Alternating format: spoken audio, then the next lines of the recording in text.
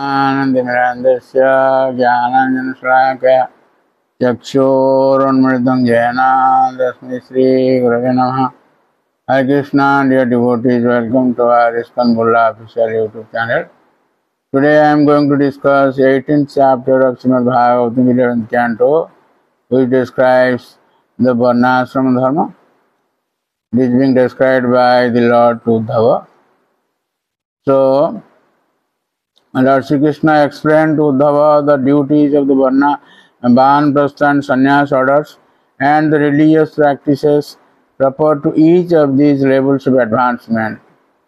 One who is taking uh, to the Banprastha stage of the life should leave his wife at home in the care of his sons, or else take her along and with a peaceful mind uh, spend the third quarter of his life in the forest.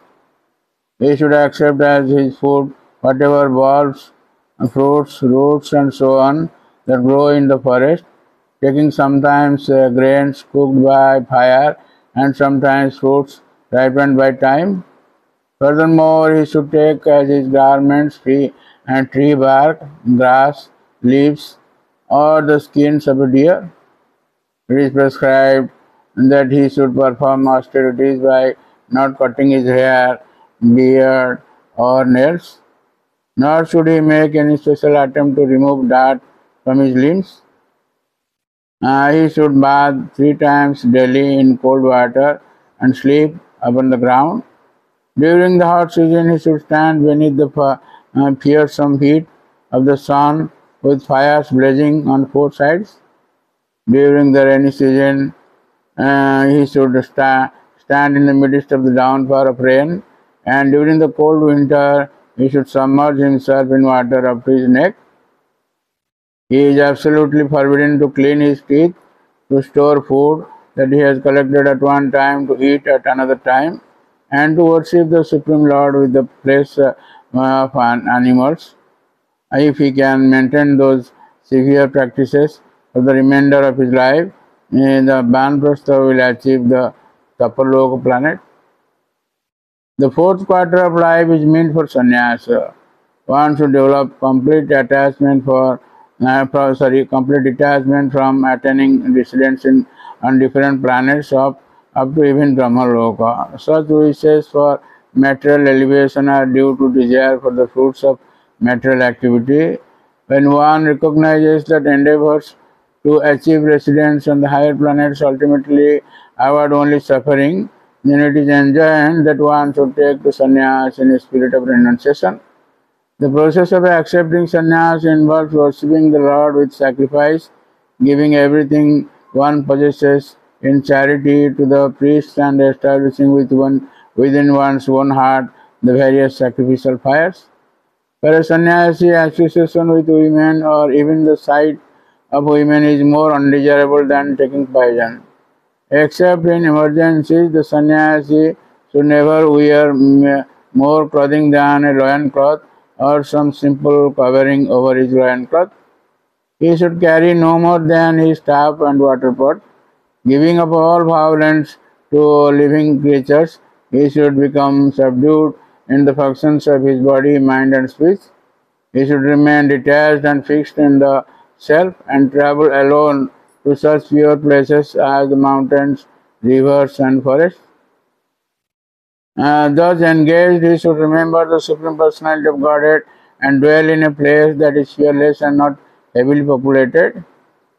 He should take his alms each day at seven homes chosen at random from those of the members of the four social classes, avoiding only the homes of those who are cursed or fallen. With a pure heart, he should offer to the Supreme Personality of Godhead whatever food he has collected and take this uh, Mahaprasad remnants. In this way, he should always be mindful that hankering for sense gratification is bondage and that engaging in obje- objects of the sense in the service of Lord Madhava is liberation.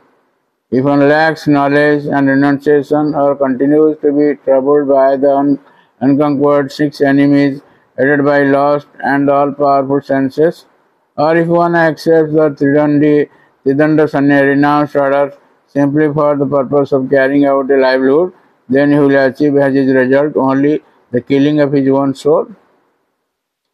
A Paramahansa is not under the control of injunctions and prohibitions. He is a devotee of the Supreme Lord, detached from external sense gratification and completely free from desire for even such subtle gratificatory goals as liberation. He is expert in discrimination and just like a simple child, he is free from the concepts of pride and insult. Although actually competent, he wanders about like a dull person, and although the most learned, he engages himself like an insane fool in incoherent speech. Although actually fixed in the Vedas, he behaves in an unordered fashion.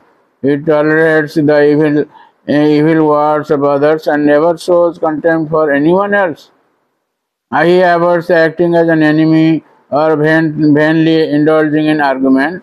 He sees the Supreme Personality of Godhead in all creatures and also all living beings within the Supreme Personality of Godhead. In order to keep his body alive for performing worship of the Lord, he accepts whatever excellent or inferior food, clothing, and bedding he can obtain without endeavor. Although he has to make some effort to find food for maintaining his body, he doesn't become joyful when he finds something, nor does he become depressed when not finding anything. The Supreme Lord Himself, although not at all subject to the Vedic orders and prohibitions, by his own free will executes various prescribed duties. Similarly, the Paramahansa, even while on the platform of freedom from subjugation to Vedic rules and prohibitions, carries, carries out various duties. Because his perception of dualities has become completely eradicated by transcendental knowledge, which is focused on the Supreme Lord, he obtains upon the demise of his material body the liberation known as Sashti, in which one becomes equal in opulences with the Lord. The person who desires his own best interest should take shelter of a bona fide spiritual master. Filling his mind with faith, keeping free from enviousness, and remaining fixed in devotion, the disciple should serve the spiritual master, whom he should regard as non different from the Supreme Lord. For a brahmachari, the primary duty is service to the spiritual master. The main duties of a householder are protection of living beings and sacrifice for a vanprastha austerities and for a sannyasi self-control and non-violence. Celibacy uh, as practiced by householders at all times except once a month when the wife is fertile. It is stated in text 43. Brahmacharyam tapasaucham santosa bhutasahudam virito gantu Servisam That means a householder may approach his wife for sex only at the time prescribed for begetting children.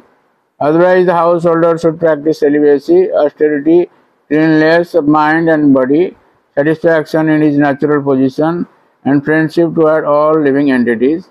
Worship of me is to practice by all human beings, regardless of social or occupational divisions.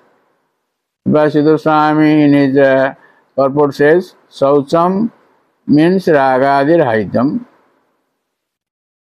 One acquires from firm devotion for the Supreme Lord by always rendering service to the Supreme Personality of Godhead uh, through one's own particular prescribed duty, by not engaging in the worship of any other personalities, and also by thinking of all creatures as the place of residence of the Supreme Personality of Godhead in his form as the Super Soul. The followers of the Karmakanda section of the Vedas can attain the planets of the forefathers and so on by their ritualistic activities. For if they become endowed with devotion to the Supreme Lord, then by these some uh, same activities they can achieve the supreme stage of liberation. That is the spiritual world. So thank you very much for listening to our lecture and please don't forget to subscribe, share and like our channel and get the blessings of the Lord. Hare Krishna.